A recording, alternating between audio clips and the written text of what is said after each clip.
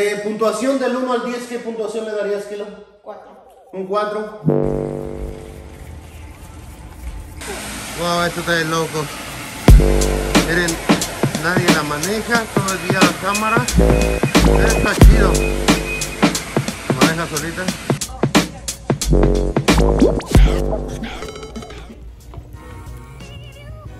No me quedan, ¿qué tal locos? Un fuerte saludo buscando un patín del diablo que pueda volar. O sea, lo vamos a hackear para que corra a mínimo 40 millas por hora.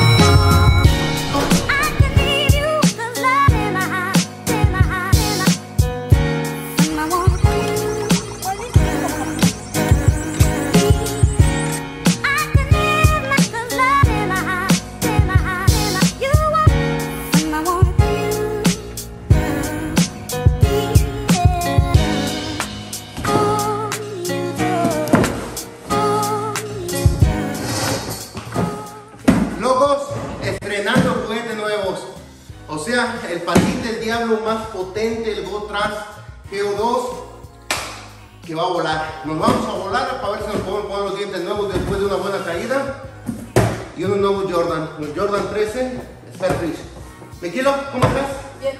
Bien, bienvenido de nuevo al canal.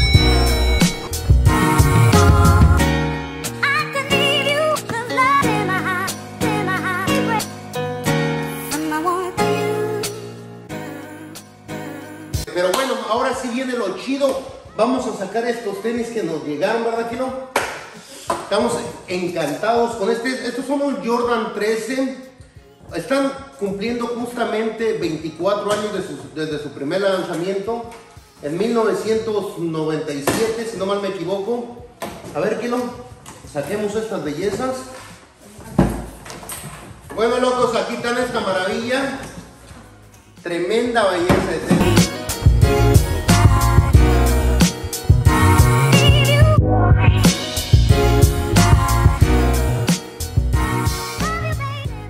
Y bueno, mi locos, ya nos venimos un rato para acá, para la casa. Lo que pasa es que en la oficina hubo unos pequeños problemas y pues nos votaron, como quien dice, porque es la casa club.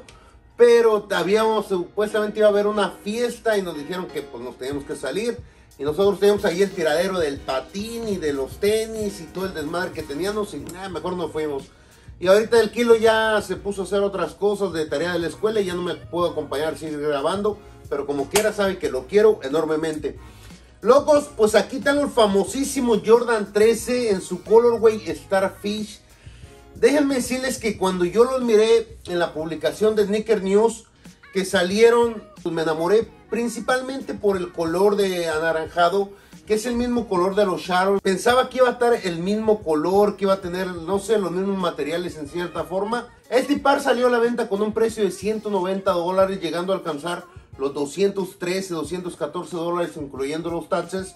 Hoy en día lo puedes encontrar en tiendas de reventa como en StockX alrededor de 220 como máximo 230. En realidad no es un par que tenga bastante high, ya que yo siento que estos son los pares de rellenos que meten en el año para que pues se siga produciendo en masa. Ahora que me llegaron, sinceramente fue otra la historia, ya que por la parte de los materiales está bien. La parte del upper en los costados podemos encontrar este cuero de bastante buena calidad pero al tacto en la parte de la punta y la parte de la lengüeta como que cambian los materiales.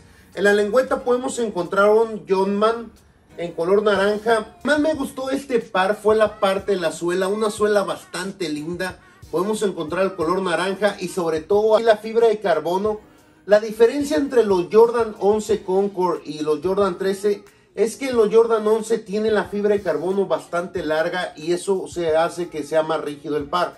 Este la tiene un poco más pequeña en el centro y hace una comodidad mucho mejor. A mí se me hacen los Jordan 13 muchísimo más cómodos que los Jordan 11. Pero al llegar a la parte de la antesuela, esto fue lo que no me gustó. En la parte baja del upper, en este paño anaranjado que podemos encontrar, lo gamuza y son de los materiales que realmente no me gustan. Pero para un- combinar con un buen outfit, no sé, una playera naranja, un short blanco y, estas bellezas, los combinarías bastante bien. Bueno, eso, esa sería la forma yo de combinarlos. No, no, no, no soy tan experto en combinar ropa. Yo nunca ando combinado, locos. Pero hermanos, el par si se lo quieren dar, dénselo. Le digo, hoy en día lo pueden encontrar en 220, 230 como máximo. Pues más nada, yo creo que hoy el día no nos fue tan agradable, no, lo, no la reventamos tan chido porque pues el patín no sirvió. Luego lo pude acomodar un poco, le tengo que cambiar las baterías y todo. Yo realmente lo único que quiero es el armazón. Y bueno, locos, sinceramente, ya hicimos funcionar el patín, pero el enfrenado que tiene es bastante malo. Sinceramente no se lo recomiendo. Y un enfrenado bastante malo no, no, no practica nada el enfrenado. Y tardó mucho, mucho en cargarse. Tuvimos que buscar otros cargadores de otros patines que tenemos. Pero no, cero recomendaciones para esta preciosura. Hay que buscar algo mejor. Y bueno, también lo que habíamos pagado por él eran 150 dólares. También no vamos a pedir la gran maravilla, ¿no?